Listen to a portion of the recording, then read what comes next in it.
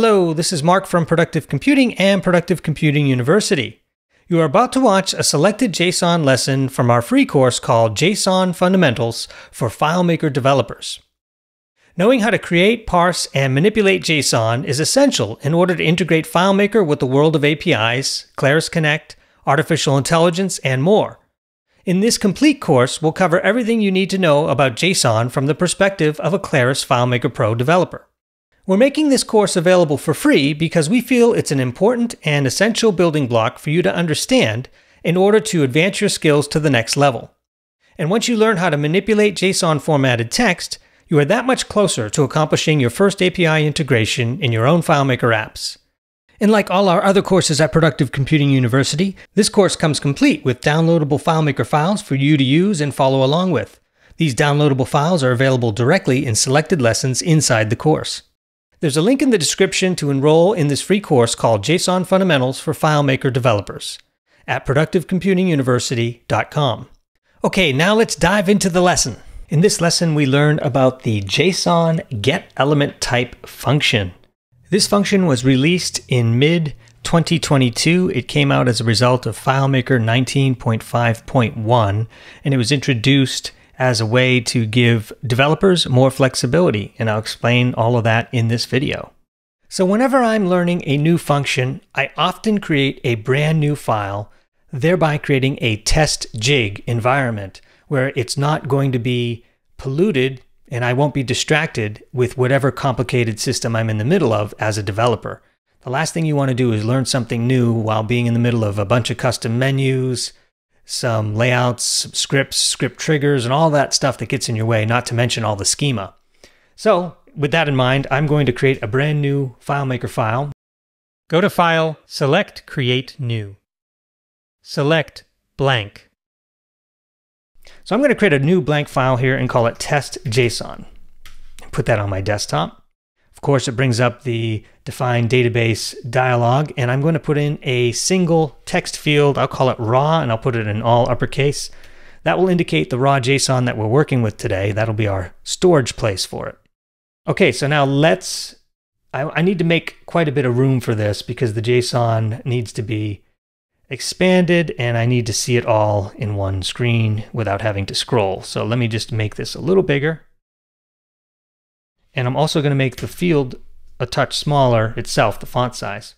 So there's my JSON holder in a new file called test.json. Perfect. Now let's go get some sample JSON text. And for that, I'm going to head over to the internet and I'm going to put in a search for JSON sample Claris. That should get you to working with JSON functions as part of their help file. And within this one, the one that says working with JSON functions, as you read down here, it says formatting JSON data, and then you'll see a link that says example JSON data. And I tell you what, I use this sample data for a lot of things. This is basically how I began to learn JSON. This is just perfect sample data. So copy that to your clipboard. It's a little thing that includes bakeries and products, and it has a combination of arrays and different examples of Boolean and numbers and text all in one sample. So it really is perfect. All right, so that's that. Now, if I paste this in here, it looks good, except, you know, the dreaded automatic spell checkers putting these dots here, which again is a distract and a distraction for us. So let me just click on that, go to layout mode, and turn that automatic spell checking off. Do not apply visual spell checking. That way I won't have to see those dots because it's never going to be spelled right in the eyes of a dictionary. Okay, so there's my JSON. So now let's immediately begin with the new function. And to do that, I'm going to bring up the data viewer, which is over here under tools, and it's called data viewer. Now, if you don't see data viewer under tools or you don't see tools at all, it's likely because you are not using the advanced tools in your system. So you want to go and go to your preferences and make sure that you're using your advanced tools. All right, so back to the data viewer, and I'm going to just clear out anything I had before and then click new here for a new expression, this plus sign down below. And let's create our expression. So this is a function, so it should show up here under JSON, J-S-O-N. And sure enough, there's all my JSON functions, and I can choose this one, the brand new one, get element type. And it's actually quite straightforward. It just requires two parameters. The first parameter is the JSON itself. It needs to know what to analyze. Where is your JSON? In our case, the JSON is right here in our file. So I'll just double click that raw text field and put that into my formula here, my expression, and it's ready to go. Now it's also asking for a key or an index or a path. This allows us to define specifically where we want it to look inside the JSON document to determine what we want to analyze. Because we can analyze the whole thing as a document, or we can analyze just pieces and parts of it. And that's what this key or index or path indicates for us. So I'm just going to put in two quotes. I don't want to specify anything in particular. But already we have a problem. Line 2, column 1, missing a curly bracket or object member name. So this came as a result of copying and pasting this from the web page, the Claris web page, directly into a field. So this could happen to you at any point in time when, when you're working with JSON. So I'm going to run this through a JSON validator online, and this will be another pro tip for you. So I've still got this JSON on my clipboard, so I'm just now going to go to another website. It's called jsonlint.com. This is one, one of my favorites. There's a lot of these out there, but this is one of my favorites. Just paste it in here and then click Validate JSON. What this will do is it will validate the JSON to the point where it will not only validate it, tell you if it's valid JSON, but it'll also reorganize it a bit. So now I can copy and paste this back into FileMaker or Claris and it will reformat it. And just like that, it fixed whatever issue it had. It was probably a spacing or a paragraph return issue, something in the text that wasn't quite right. But now it likes it. So it happens to be returning an object type 3. So now let's take a look at the help file and we'll analyze this even further. And we'll go back to that web page that we had earlier, which was JSON Claris functions and we'll look at the JSON functions here. And the one we want to focus on is get element type. So as you read through this, it can return several different types of JSON and indicate which one you're working with. The types are JSON string, JSON number, JSON object, array, boolean, and null.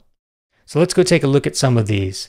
Now, it also further uh, explains that in order to kind of see what numbers are represented with that, go to the set element function and read more. So let's read more there. This is another function altogether, but it's the one area in their help file that defines what number correlates with what type.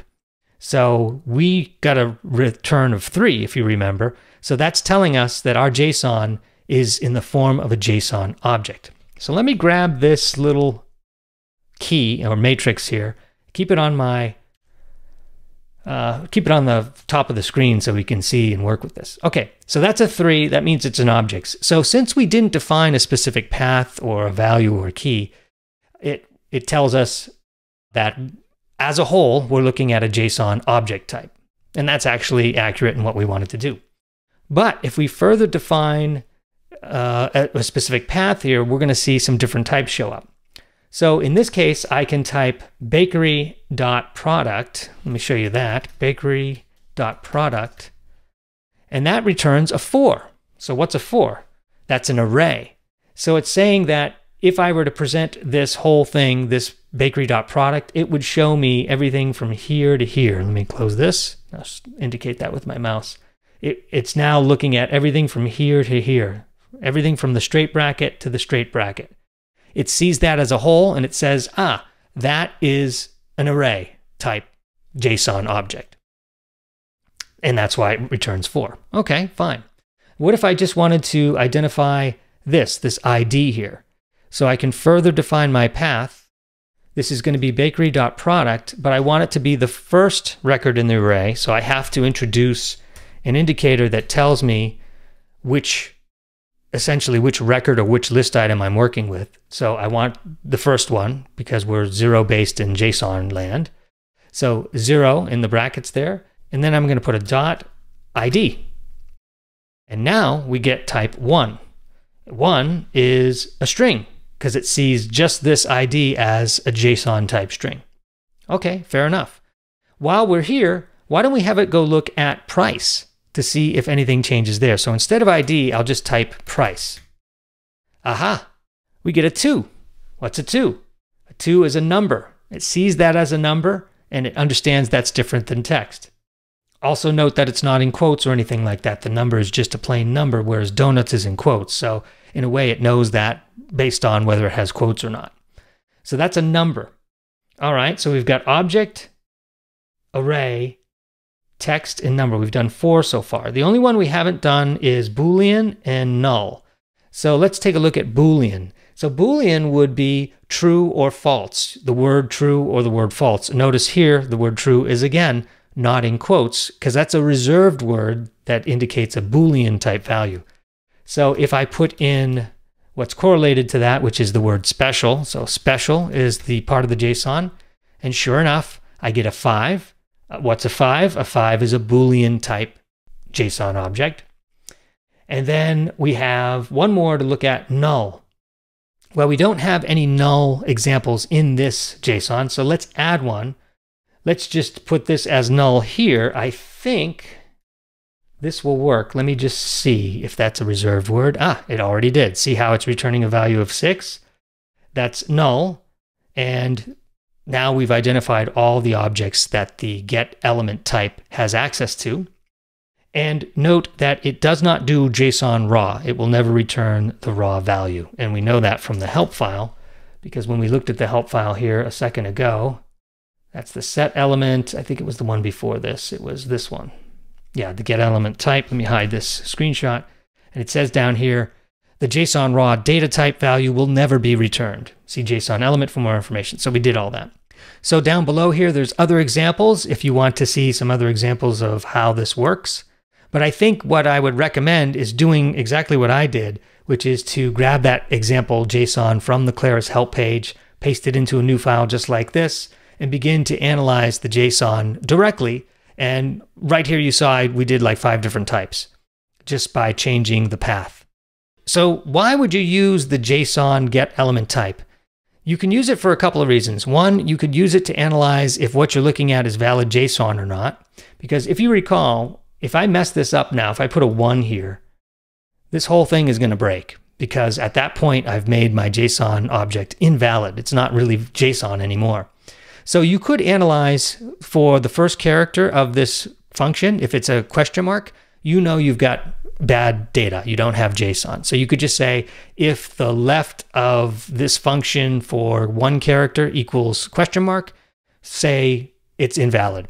Otherwise, analyze what type of JSON it is if you need to. Perhaps the biggest advantage of this new function is the fact that you can depict a certain part of your JSON document and analyze only that. This can greatly save you time or allow you to pinpoint different areas of the JSON document that you can analyze and determine the type prior to you parsing it. This is especially true for very large JSON documents. The function gives you the ability to define a specific path and look at a certain area, determine the type, and then from there you can make decisions. So this concludes our exploration of the new function getElementType.